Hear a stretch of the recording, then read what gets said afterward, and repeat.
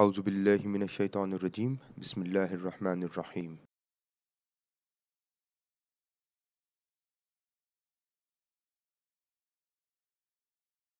How do we assess cross-loading? Now in order to do this, let me take this whole table to Excel. And let's paste it here. Let's improve the size a bit.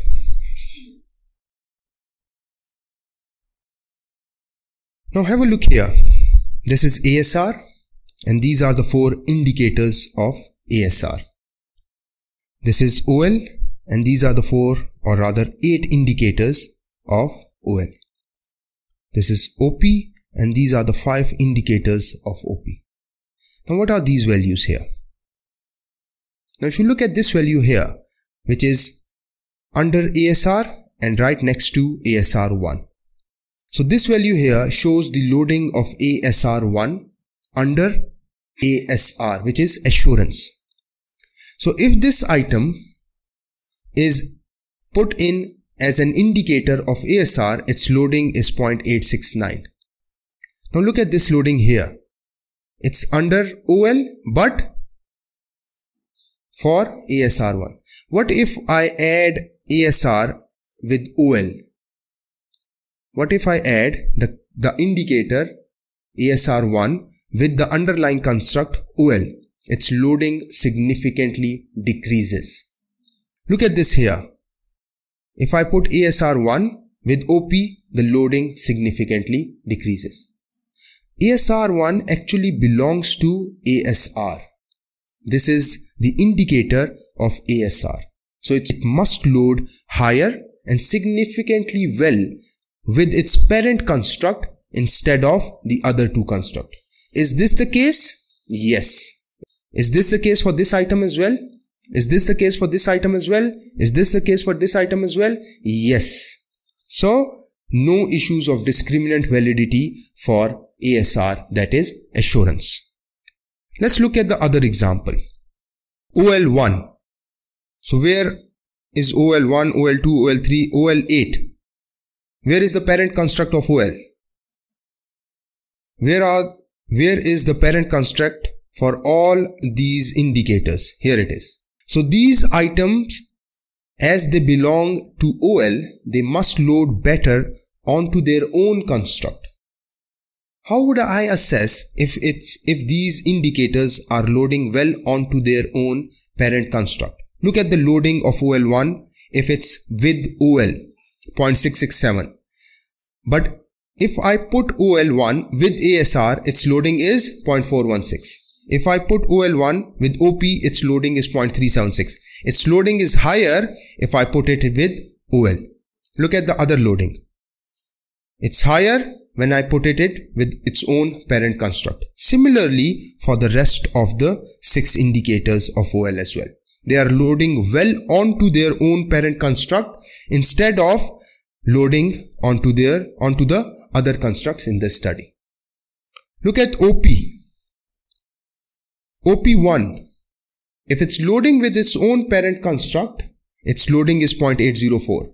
If I move it to OL or ASR, its loading decreases. Similarly for the other ones as well. So, this shows that there is discriminant validity.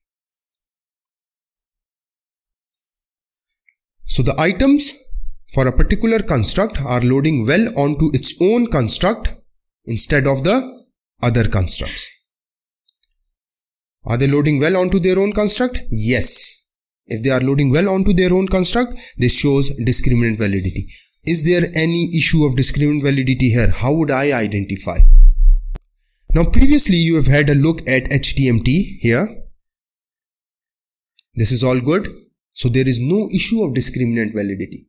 What if there was an issue of discriminant validity? What, what if something here was red? What if this value was lower than these values, then you will use cross loadings. You will come here in cross loadings or this table and see if a particular item is loading well onto other construct instead of its own parent construct. If it is, then you need to delete that particular item. For example, let's say we had an issue of discriminant validity and that issue was between ASR and OL. That issue was between ASR and OL. How do I say that it was between ASR and OL? Let's assume, let's assume this value here. This value was less than this value.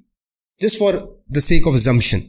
This value here, ASR and OL, this value here, the correlation for ASR and OL was higher than this value here, which is the square root of AVE for ASR.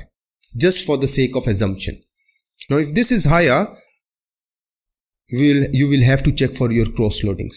Let's say I come to cross loading and I find out that this value here is 0.910 and this value here is 0.869. Now look at this. This particular ASR1 is loading well onto another factor instead of its own parent construct. Because this loading here is higher than this loading. And the difference is less than 0.10. The difference is less than 0.10. Now we need to delete this indicator from our model in order to establish discriminant validity. Similarly, you will assess the other indicators as well. If the difference is less than 0.10, you should get rid of that indicator. Even if it's greater than 0.10 and there are discriminant validity issues, check removing that item. Because it might be 0.11 or 0.12 still there is the difference is not that much. But be very cautious about it